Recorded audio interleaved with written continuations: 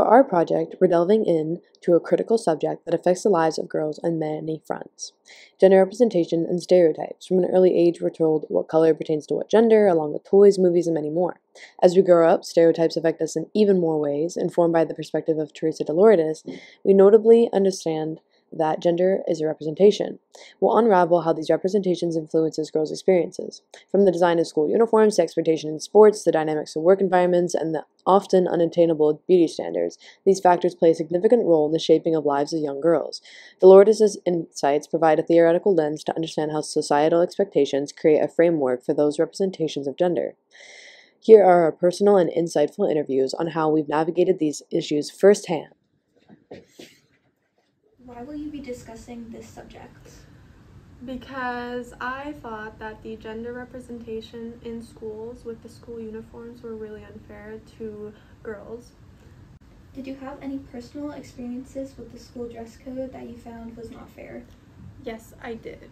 Um, when it was non uniform days, you had to pay to wear your own clothes, and girls specifically had more restrictions on what they could wear than boys, which I found super unfair because it limited the girls' expressions. The, the it limited girls' expression how they express themselves through clothes. So I would wear leggings and I would get in trouble for it. I would get detention for wearing leggings for some reason. And it, I found that super unfair and it really angered me. How does this affect gender stereotypes? Um, well, it tells little girls what to wear. So our uniform were mostly consisted of skirts. So it would all it would implement like the girls being girls by wearing skirts and boys being boys by wearing pants, and that was very stereotypical. Concerning the work environment as young women, have you ever encountered any uncomfortable situations or inappropriate comments while working? Occasionally, yes. The nature of the environment is you have to talk to a lot of different people. So, yes, I do get comments, especially with the uniform that I have to wear. Could you give a brief example? Uh, there was one time where I was working and there was a group of older men, maybe in their later 30s, and they were making comments about the uniform. My uniform consists of a short skirt and a tank top that is cropped and low cut. How has your workplace supported you in dealing with these challenges? My management is supportive, however, because of the men that normally make the comments, they normally feel they have power and therefore they most likely have money, and my business to, does want the business that they give, therefore they don't do much.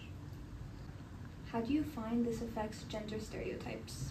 As a woman, um, I do have to wear a different uniform than the guys do, which I do think is quite unfair. I'm usually freezing in my uniform as well, and the men in my work never get the same comments that I do.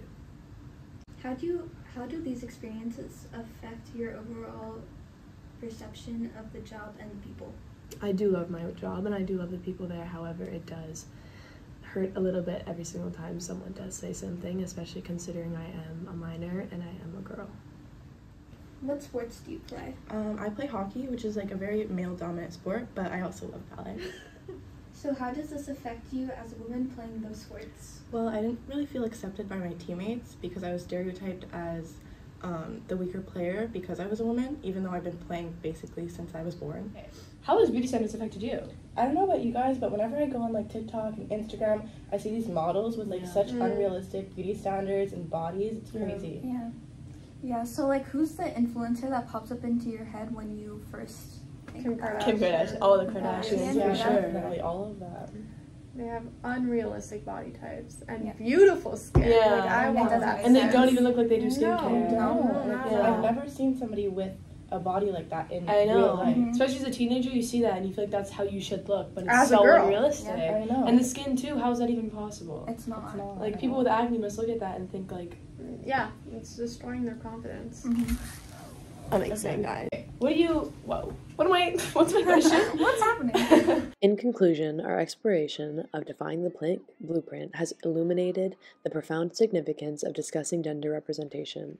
It is crucial that we talk about what transcends the superficial and delves into the very fabric of societal norms.